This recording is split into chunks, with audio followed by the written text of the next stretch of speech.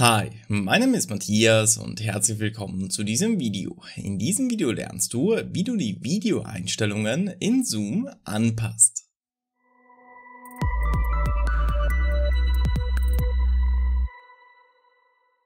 Bevor wir nun mit diesem Video starten, hier noch ein kleiner Hinweis. Wünschst du dir zu einem Thema ein Video, so schreib es doch in die Kommentare.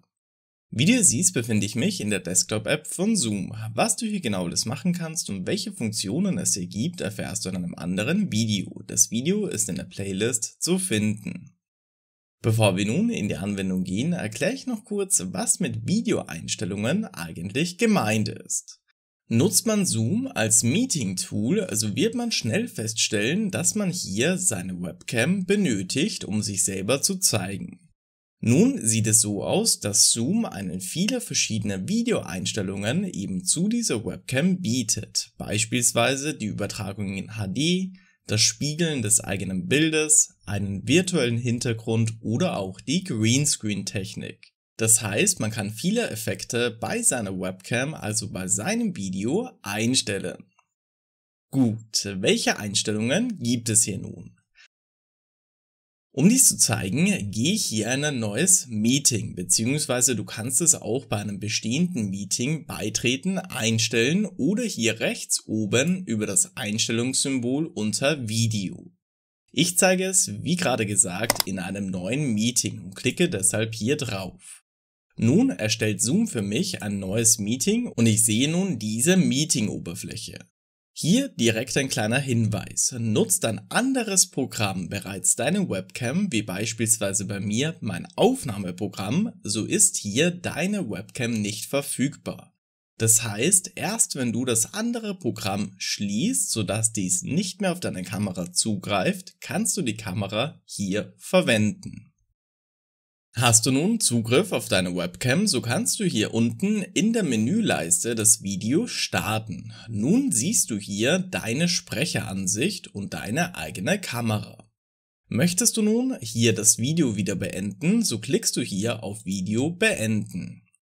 Möchtest du bei deiner Webcam nun verschiedene Einstellungen tätigen, klickst du hier auf den kleinen Pfeil und auf die Videoeinstellungen.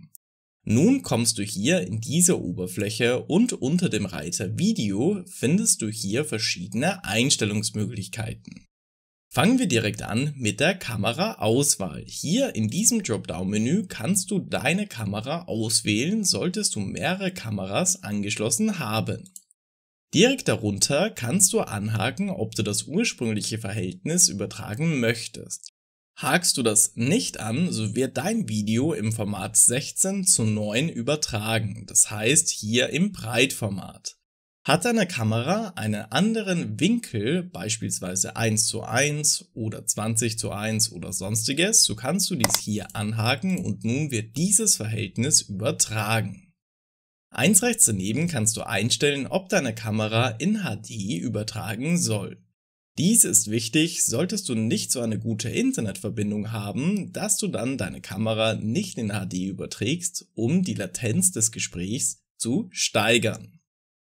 Direkt darunter hast du Einstellungen zu deinem Video. Hier kannst du dein Video spiegeln und dein Erscheinungsbild retuschieren. Das heißt, die Kanten deiner Haut etwas besser machen. Hier mit diesem Regler kannst du einstellen, wie sehr diese Retuschierung stattfinden soll.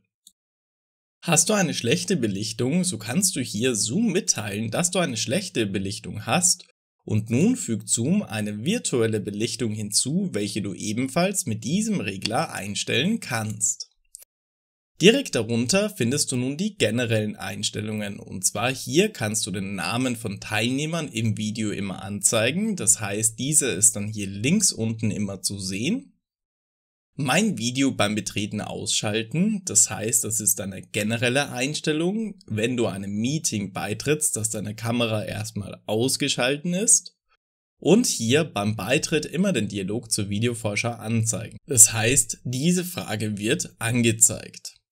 Hier kannst du ebenfalls noch einstellen, dass die Teilnehmer in deinem Meeting ohne Webcam, also ohne Videoübertragung, ausgeblendet werden sollen. Darunter kannst du einstellen, dass du dich selber nicht siehst, sprich die Selbstansicht ausblenden. Direkt darunter haben wir eine wichtige Einstellung und zwar wie viele Teilnehmer sollen in der Galerie an sich zu sehen sein. Nimmst du des Öfteren an größeren Meetings teil, so siehst du viele verschiedene Gesichter und viele verschiedene Webcams. Hier kannst du nun einstellen, ob dieser 25 Teilnehmer begrenzt ist oder auf 49. Kommen wir nun zu dem virtuellen Hintergrund und den Effekten. Hierzu klicken wir auf Hintergründe und Effekte. Nun sehen wir hier virtuelle Hintergründe, die Videofilter und die Avatare. Bevor wir nun in den virtuellen Hintergrund reingehen, erkläre ich noch kurz den Unterschied hier unten zwischen ich verfüge über einen Greenscreen an oder hab gehakt.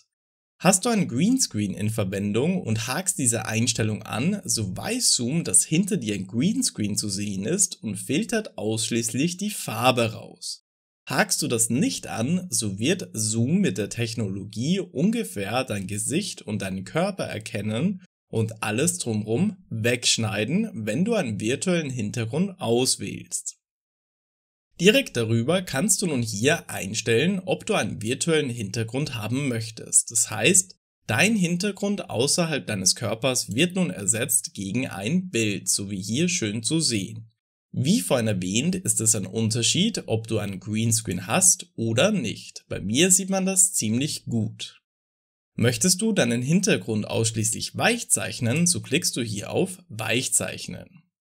Möchtest du dein eigenes Hintergrundbild hochladen in Zoom, damit du dies verwenden kannst, kannst du dies hier unter Plus tun. Hier kannst du nun ein Bild oder ein Video von deinem Rechner auswählen, welches im Anschluss im Hintergrund hier gezeigt wird.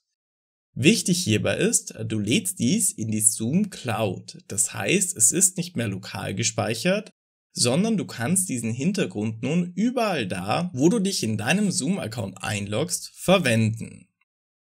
Möchtest du nun deinem Video einen Videofilter hinzufügen, das heißt einen Effekt oder einen Filter, so kannst du dies hier unter Videofilter tun, als Beispiel etwas dunkler, schwarz-weiß oder sonstige Effekte auswählen.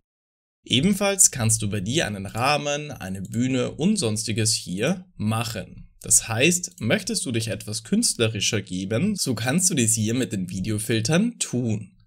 Direkt darunter kannst du einstellen, dass diese Einstellungen hier, also vom Videofilter, für alle künftigen Meetings gilt. Möchtest du dich selbst nicht zeigen, sondern einen Avatar, so kannst du dies hier unter Avatare tun. Das heißt, du kannst hier einen Avatar auswählen und nun wird dieser Avatar anstatt deines Gesichts und deines Körpers dargestellt und die Mundbewegungen werden imitiert und die Gesichtsbewegungen.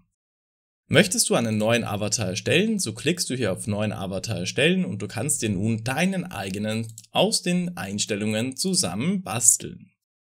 Hast du nun hier deinen erstellt, so klickst du auf erledigt und der ganze wird hier hinzugefügt. Möchtest du das nicht mehr, also deaktivieren, so klickst du hier auf None.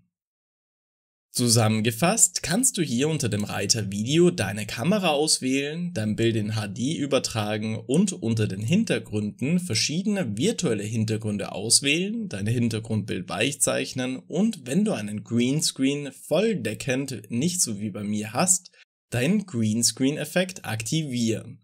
Unter Videofilter kannst du deine Videofilter auswählen, solltest du einen wollen und unter Avatare einen virtuellen Avatar für dich nutzen, entweder aus einem bestehenden oder selber einen zusammenstellen.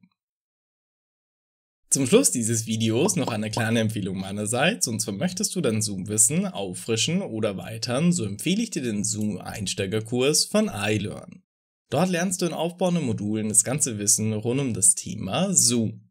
In jedem der Module bekommst du zahlreiche Downloads in Form von Übungen und sonstigen Hilfsmitteln, welche dir zur freien Verfügung stehen.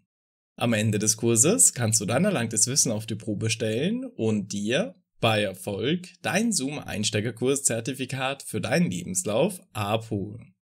Abonniere ruhig diesen Kanal für weitere Schritt-für-Schritt-Anleitungen. Ich freue mich auf dich, dein Matthias.